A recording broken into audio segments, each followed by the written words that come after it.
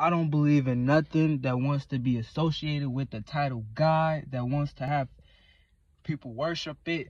That's demonic. That's dem- demons would like to be worshipped. And I just don't believe any any any, you know, quote unquote cuz I think y'all think the word God means power and in the in the in the uh, way that you be looking at life.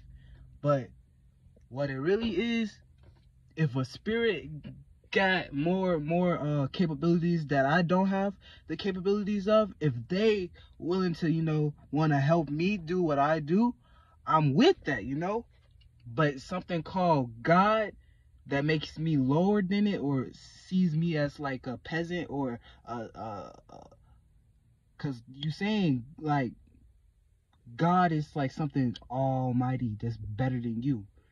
Well, all I'm saying is spirits who are for you are for you.